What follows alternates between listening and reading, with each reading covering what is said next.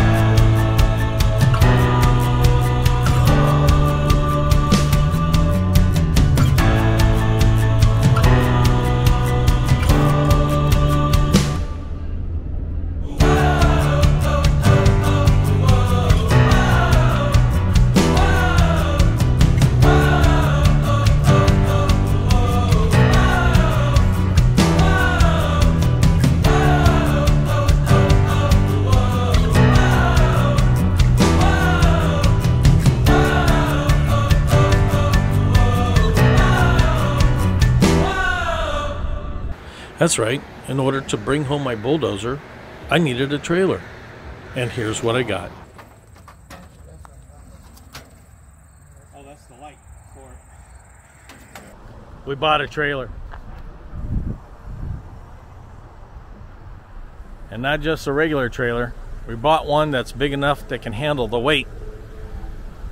Four tires on each side, total of eight tires. This thing can handle 25,000 pounds. Big heavy duty gates on the back. Electric brakes.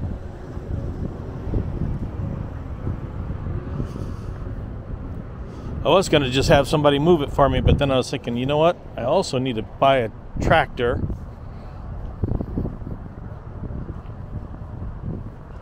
So, yeah, that's what the road trip was all about. Now we're heading back home. Tomorrow we're going to get the dozer and bring it home. But before we do that, we're going to go to that store over there and we're going to get some ratcheting binders and some chains for chaining down the dozer on the trailer.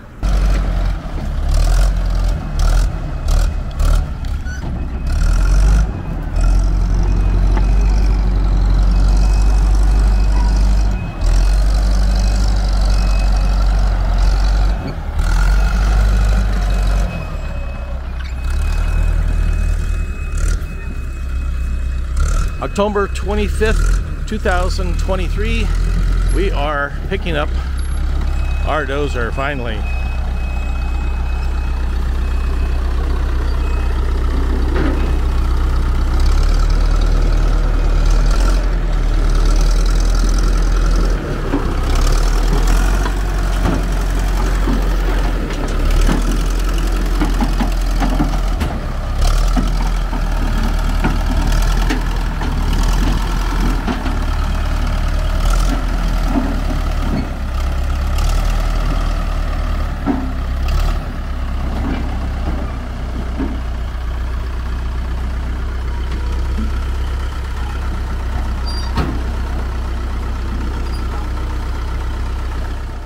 That's good. I think it's good.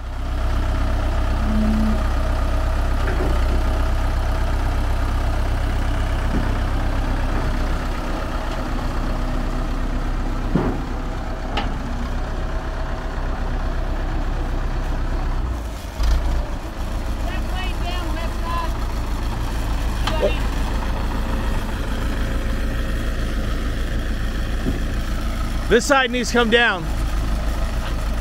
Yeah. Good. Solid. Nice job.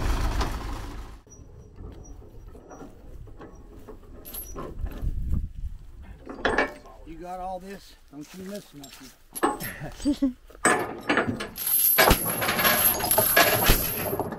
I wasn't sure how many I What, well, pop finer's what you usually use. Bet you're something this big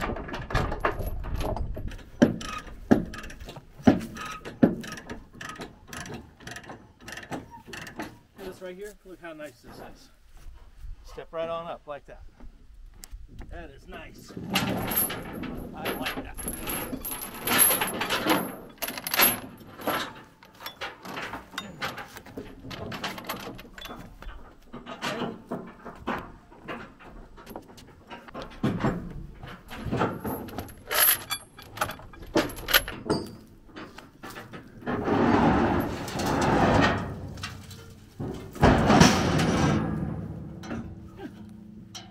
Have some heavy. Yes, them babies are heavy. Well, I saw a bunch of trailers with this light duty looking stuff back here, and I'm like, the first time the dozer goes up, she's gonna bend it.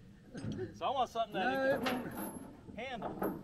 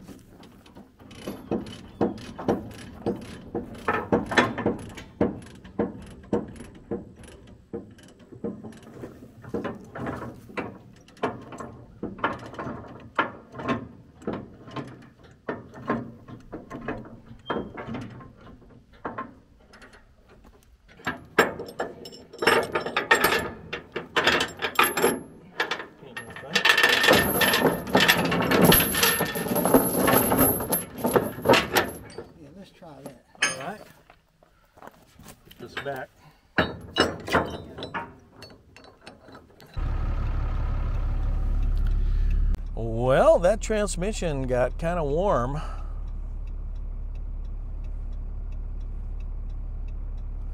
Coming up this hill, so we pulled over. Then a couple miles up the road, this happened, along with the transmission overheating. It wasn't so much the weight of the dozer on the trailer, it was the fact that we were going up and down really steep hills. Where do I begin? So, yesterday we picked up the dozer. It's now the next day. And uh, I thought I planned out pretty well everything. You know, the truck can handle pulling the trailer. I got a nice heavy duty trailer I can handle the weight. What I did not calculate into my plans was the area between the major city, which we go back and forth to. I say major, it's a it's a decent sized uh, city, and where the seller lives. Between that, it's about eight miles, and there are some really really steep mountains, um, and I didn't even think about that. So when we started pulling that heavy load, the uh, I started getting a transmission overheat light, and uh, so we pulled over. I read the manual, said you know leave it in neutral and let it idle. And that's what I did. Initially, I put it in park, but I moved it into idle. It eventually went out, and uh, one thing I will say is the people here in West Virginia are really great. Uh, there was a state trooper went past us, and then he turned around, came back, and checked on us. I told him what was going on, and and uh, he he uh, understood. I said we don't need any help. We just you know transmissions overheating.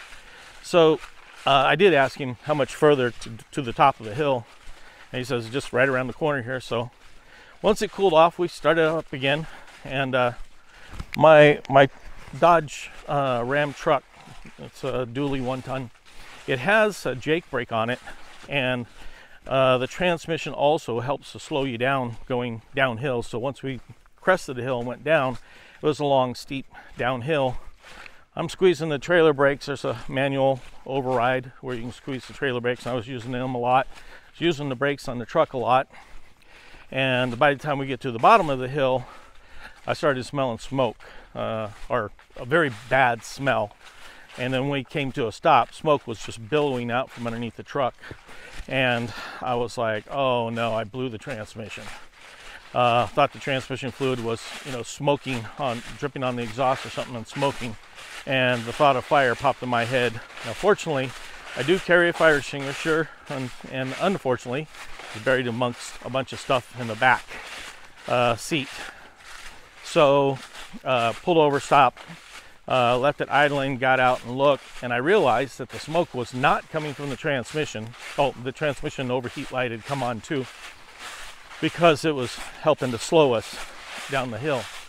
And uh, when I looked at the smoke, I realized it's coming from the brakes. Yep, you already guessed it. So the brakes were overheating and smoking.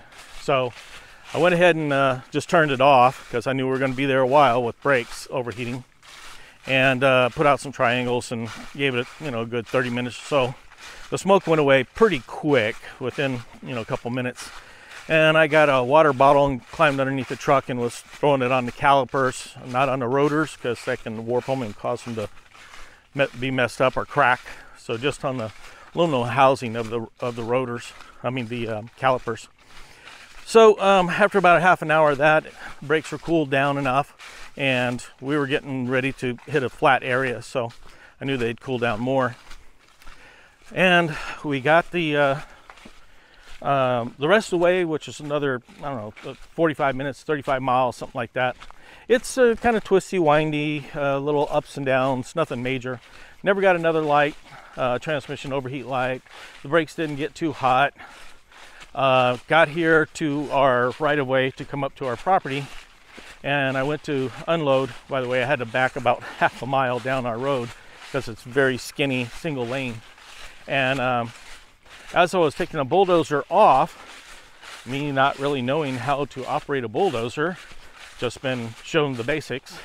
Um, it started going down the ramps pretty fast, and so I jumped on the brakes and I hit them too hard when I did, the thing came to a jerking halt, and all that weight right on the very edge, back edge of the uh, trailer, caused the front of the trailer to lift up, which was attached to the truck, which had the, you know, which was in park. And so the back wheels being lifted up, which is the only thing keeping it from rolling, and we're parked on a downhill grade. Uh, yeah, so the back end of the truck's up in the air, and the whole thing with me on the dozer on the trailer started rolling downhill. And I'm screaming at my wife, Get in the truck and hit the brakes. Wouldn't have done any good. I'm glad she didn't do it. Could have injured her. Um, the problem was when I we're rolling, I'm rolling backwards. I don't even know what's behind me, and then I start feeling the trailer leaning because it's going off of about a two foot mound onto the to the driveway.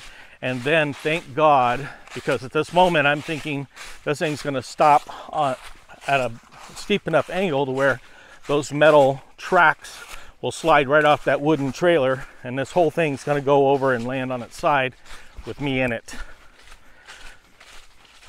It was it was a frightening ordeal uh, chanel was filming at the time but she's new to this uh, this camera and so she had it in, in picture mode so it only took like one picture as I'm starting. She thought it started the video but anyways um, didn't get any video of that of me you know the whole event that unfolded and um, I was I was just thankful that when it finally came to a stop I got the thing started real quick and went down I wasn't sure how well it was going to stay where it was at.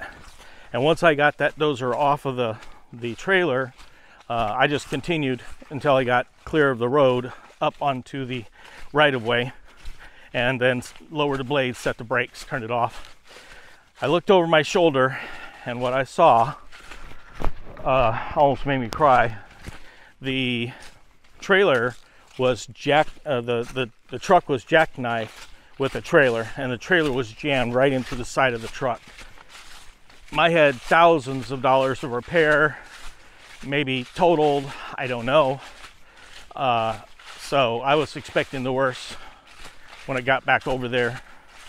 Uh, walked back over, and shockingly, no damage. I mean, I, it was it was at greater than a 90 degree angle, and when it stopped, the gooseneck part of the trailer was eight inches from the back of the cab.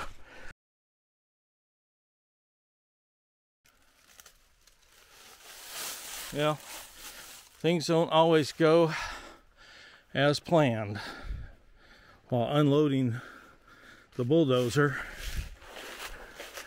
the weight of the dozer on the back lifted up the front and started making the whole thing roll, causing the uh, truck to jackknife. So, got the dozer up there, and looking back, I just knew that I had damaged my truck tremendously. A little bit of a pickle. I got one landing gear down on the trailer, and now got to figure out a way to get my truck out of there. well, here we go. That's probably what would have gotten damaged first, but man, I just feel very lucky. The truck itself was buried, the front of it was buried into the hillside, and the front tires were down in the ditch, as you can see here. And uh, uh, so then I only had like a foot to play with.